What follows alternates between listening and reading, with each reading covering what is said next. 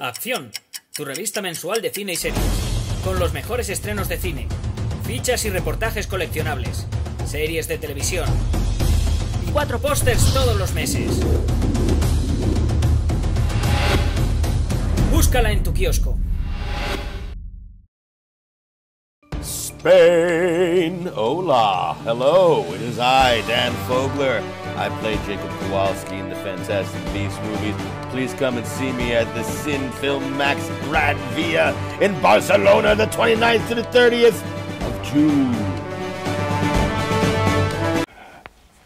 Muy buenas, pues eh, aquí estoy para hablar de Horizonte, eh, una saga americana, el capítulo primero de ese mega western totalizador que pretende dirigir eh, Kevin Costner, del cual tiene hasta el momento dirigidas, eh, o sea, rodadas dos, dos, películas, que parece que le quedan las otras dos eh, para financiar y demás, y que precisamente dentro de ese código que, que tenemos presente como una especie de, mmm, digamos, proyecto excepcional para hablar precisamente de esa de esa fábula de la excepcionalidad mm, de los Estados Unidos, la excepcionalidad histórica de los Estados Unidos y sus, y sus condicionantes que se llama conquista del oeste y todo esto, eh, pues mm, digamos que intenta ser un poco el último grito en el desarrollo de este tipo de épica que tanto que tanta cancha ha tenido siempre en el cine estadounidense.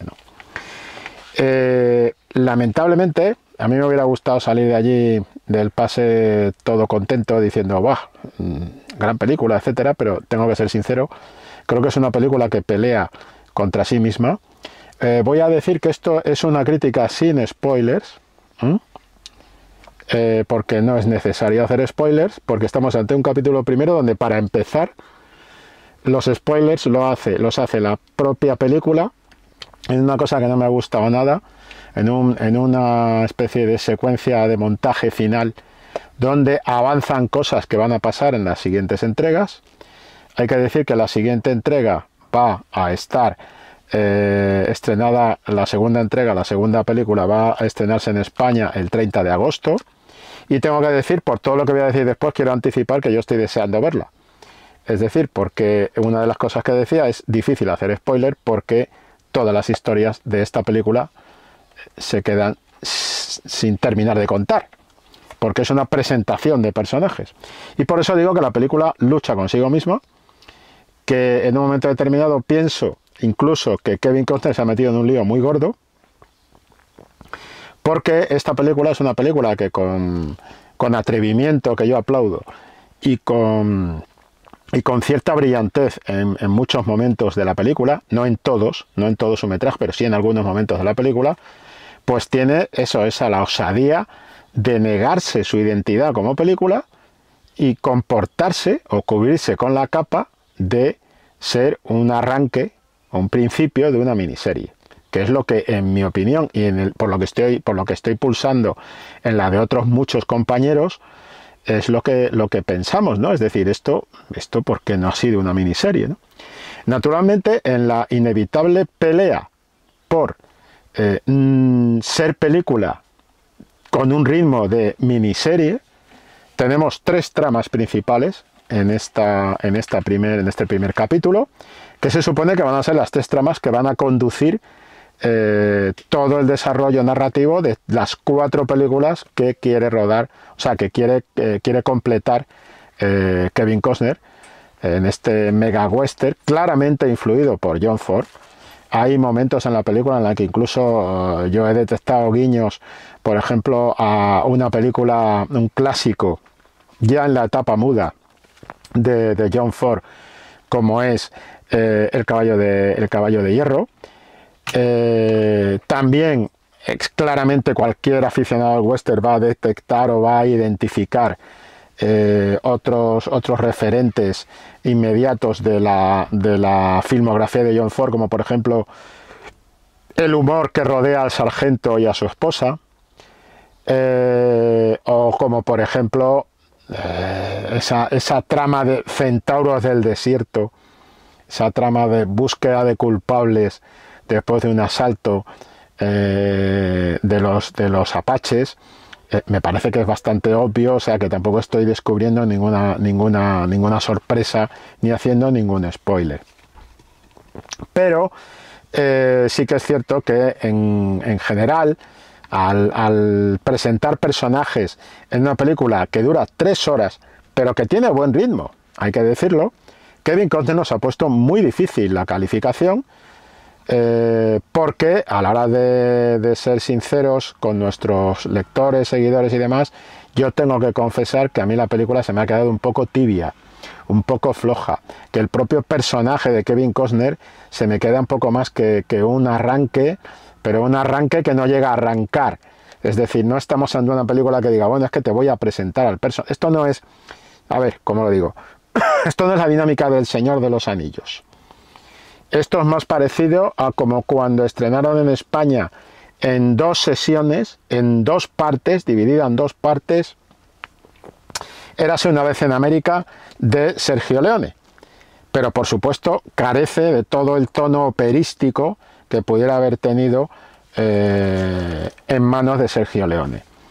Eh, Cosner mmm, casi diría que se niega a jugar con las claves de la épica, que sin embargo se le suponen a este tipo de proyecto, para entrar mucho en los personajes, en un, en un intimismo incluso visual, con mucho trabajo de plano medio, primer plano y demás, eh, con los personajes y con la propia historia. Y los personajes están muy bien presentados y los personajes son interesantes, salvo el suyo, que a mí se me queda poco más o menos en un boceto y eh, que indudablemente es un personaje que va a crecer en, películas posteriores, pero que en esta se queda se queda flojo, se queda tibio, se queda como a medio cocer, se queda a medio, a medio cocinar, ¿no?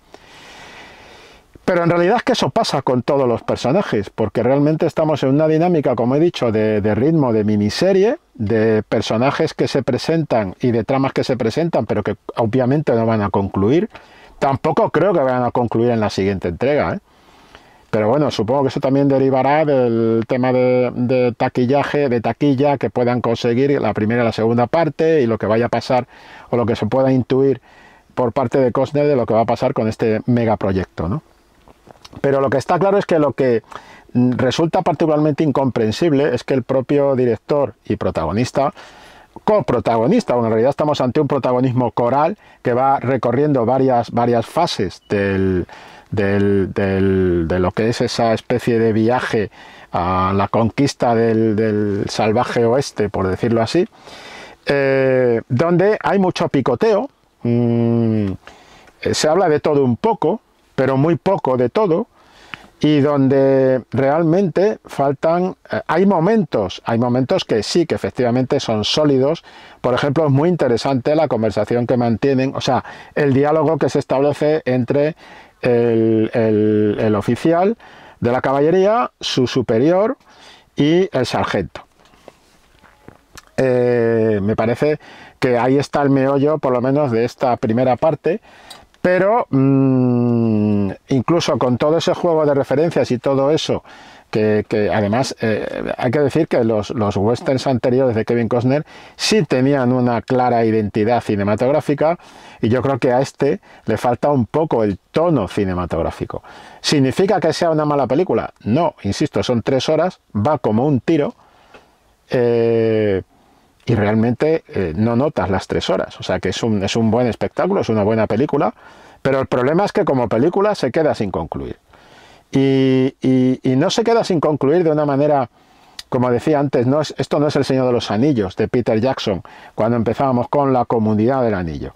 Eh, no, eh, esto, esto no es una historia que se queda cortada porque se va a contar en tres partes y tal, mm, pero la propia comunidad del anillo, la propia película de Peter Jackson, esa adaptación del Señor de los Anillos de Tolkien, tenía eh, unos arcos muy claros de desarrollo de personajes, tenía unos puntos de, giro, de, de, giro en guion y unos puntos de refuerzo argumental muy claros y tenía su conclusión como primer capítulo. El problema es que aquí se llama capítulo 1, pero en realidad lo que ocurre es que se produce una especie casi, diría yo, de, tajo en todas las historias que se están contando, en esas tres eh, tramas principales que se están contando, y, fruto de ese tajo, pues es que eh, nos quedamos, mm, todo queda por narrar eh, aparentemente en una segunda, tercera y cuarta película.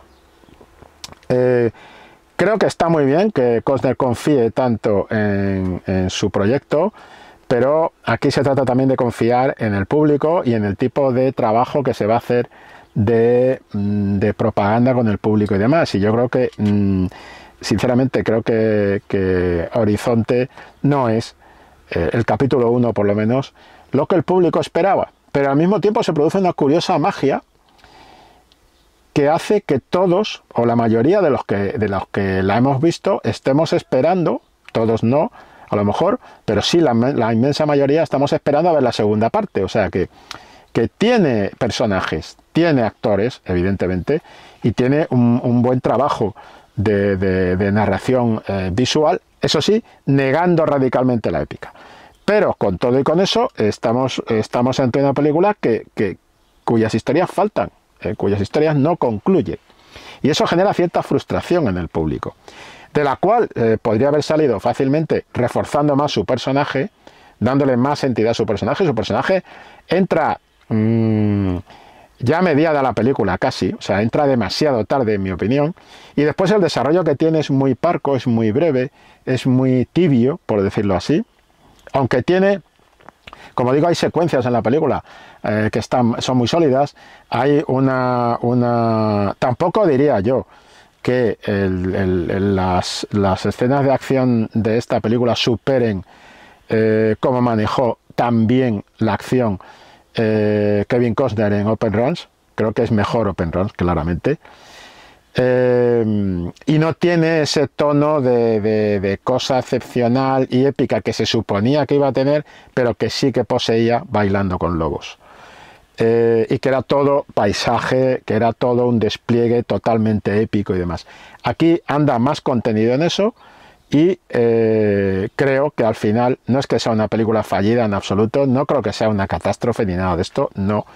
Yo le voy a poner una calificación de entre tres estrellas y media y cuatro, por lo que promete más adelante y porque estoy seguro de que viendo la segunda película va a haber que recalificar esta, porque en realidad es un poco injusto. Yo creo que casi sería eh, más justo hacer una un, habrá que hacer un comentario posterior al estreno de la segunda película asociando las dos películas. Creo que eso sería mucho más justo con la con el largometraje, con este primer capítulo, ¿no? Eh, y creo que eh, juzgando capítulo 1, capítulo 2 va a ganar puntos. Y por eso estoy entre las 3 estrellas y media y las 4. Y me voy a inclinar por las 4 porque hoy me levanta optimista. Pero la realidad es que se me queda tibia, se me queda, mm, se me queda con poco tono eh, cinematográfico, con poco gancho en algunos momentos. ¿no? Y sin embargo hay otros que están muy bien. por ejemplo, el diálogo con el, el hermano de la banda, el hermano menor de la banda, el hermano pirado de la banda, toda esa escena del diálogo entre Cosner y el hermano pirado de la banda es el tipo de momento que estamos esperando en la película y que aquí se produce. El diálogo entre los, entre los militares, que resume toda la trama de la película y posiblemente de la saga. Esos momentos son los que hacen falta. El momento del primer ataque, del primer ataque de los apaches a la posición esta establecida de los colonos eh, todo eso, esos tres momentos, a mí me parecen que son significativos de que esta película eh, es una buena película, merece sus cuatro estrellas y por eso estoy inclinándome cada vez más de pasar de las tres estrellas y media a las cuatro. Pero cuando pienso en el tono, cuando pienso en esa especie de pelearse consigo misma, de, mm, digamos, eh, querer ser lo que no es, decir que es película cuando en realidad claramente es miniserie, y, ese tajazo que me mete en todas las tramas, junto con el para mí, eh, sinceramente, tremendo error de hacer esa especie de avance de lo que va a pasar, acercándose mucho o incurriendo incluso en algunos spoilers, eh, sinceramente yo creo que, es lo que me vuelve para atrás a las tres estrellas y media. O sea que estoy ahí, estoy como un péndulo ¿eh? de tres estrellas y media a cuatro. Pero, pero ha sido una, una poco grata sorpresa en ese sentido, porque yo me esperaba, conociendo los trabajos anteriores de Cosner y dejando a un lado esta de Mensajero del Futuro, eh, que también es un western, por cierto, aunque sea ciencia ficción, pero claramente es un western, dejando de lado esa que le salió un poco más pocha, pero yo pensaba en Open Runs, pensaba en Bailando con Lobos, y, iba un poco convencido, un poco de que me iba a encontrar pues con una, con una especie de, algo, algo parecido, ¿no? De una película de cuatro estrellas y media, casi cinco, una cosa así. Y no, y no. Para mí está eso entre tres estrellas y media y cuatro, y ya digo, me voy a inclinar por las cuatro, confiando en que cuando veamos la segunda película, que como digo, que como digo se estrena aquí en España el 30 de agosto, pues vamos a tener que recalificar o vamos a tener que no recalificar esta, porque esta es lo que es y esta, esta es lo que es. Pero sí que vamos a tener que replantearnos ese análisis de las dos, esa crítica de las dos películas juntas, del capítulo 1 y del capítulo 2. También apuesto que si hacen las dos siguientes, la 3 y la 4, eh, que yo creo que saldrán adelante, aunque sea en plataforma o en cine, en fin, pero creo que, merecerá la pena, merece la pena ver las cuatro eh, y ver a dónde nos lleva Cosner en, esta, en este viaje. Pero también creo que cuando se estrenen, si se llegan a estrenar, que yo confío en que sí, ese capítulo 3 y 4, eh, entre el 1 y el 2 y el 3 y el 4 vamos a ver un punto claro de inflexión o un, trabajo, eh, digamos, que, que posiblemente estamos hablando de cuatro películas de muy largometraje, pero en realidad estaríamos hablando solo de dos arcos principales desde el punto de vista argumental. ¿no? Yo creo que el capítulo segundo puede ser eh, algo que complete esta impresión más floja del capítulo 1 y, invito a que la gente saque sus propias conclusiones con esto y acuda a verla, porque es una película para verla en el cine, aunque no tenga un formato de gran pantallón y tal, pero sí es una película para verla en el cine. Eh, creo que, como digo, vamos a ver que al final, en todo este lío de cuatro películas, de largometraje, de muy largometraje, etcétera, lo que encontramos son, en mi impresión, estoy especulando, dos arcos, eh, dos arcos eh, argumentales en cada uno bueno, pues que se acabó la, se acabó la batería, amigos, pero no importa porque retomo un poco. Eh, la idea que estaba expresando para, para ir terminando esta, esta videocrítica es simple y llanamente que pienso que va a haber dos grandes arcos argumentales, el primero expresado en el capítulo 1 y el capítulo 2, y el segundo expresado en el capítulo 3 y el capítulo 4. Y que esos arcos argumentales eh, pues van a ser bastante diferentes unos de otros. Eh, unos de otros. En cualquier caso, eh, se articule así o se articule de otra forma, seguirá siendo esa pelea de una película que se niega a ser película y que quiere ser eh, y que quiere expresarse como miniserie, pero seguir siendo película. O sea, no se entiende mucho. Más allá de que esto sea muy interesante desde el punto de vista del actual peso que tiene en el mercado, pues esa producción para plataforma y de lo que está pasando en el cine. En ese sentido, también creo que esta película, por eso creo que hay que aprovechar para hablar en el cine, es una buena, es una buena, eh, un buen, un buen elemento de reflexión sobre qué está pasando en el cine a nivel de distribución y demás, ¿no? Con esas producciones dirigidas por gente como Scorsese o con ese, eh, con, Los Asesinos de la Luna o ese Napoleón de Ridley Scott. Eh, ese tipo de producciones que sin llegar a cines se hacen directamente para explotación en plataforma. Eh, es otro tipo de producciones de plataforma que se explotan en cine. Creo que en todo este puzzle, pues este, esta pieza que es Horizonte es muy interesante y por eso merece la pena, como aficionados que somos al audiovisual, verla en pantalla grande. Pero, insisto, se me queda mucho más tibia de lo que yo esperaba mucho más floja, mucho menos, con mucha menos tensión de la que esperaba de un western eh, con la firma de Costner. Y, ahí lo voy a dejar, tampoco quiero alargarme más. Ya digo, no hay que hacer spoilers porque los spoilers se los hace la propia película casi, que te cuenta eh, un montón de cosas en una, en una secuencia de montaje al final, anticipando lo que va a pasar. Y eh, aquí lo dejo. Eh, habrá crítica escrita y ahí me voy a explayar más todavía. En fin, si os apetece leer, pues ahí sigo comentando este tema. Hasta luego. Acción, tu revista mensual de cine y series con los mejores estrenos de cine, fichas y reportajes coleccionables, series de televisión y cuatro pósters todos los meses. Búscala en tu kiosco.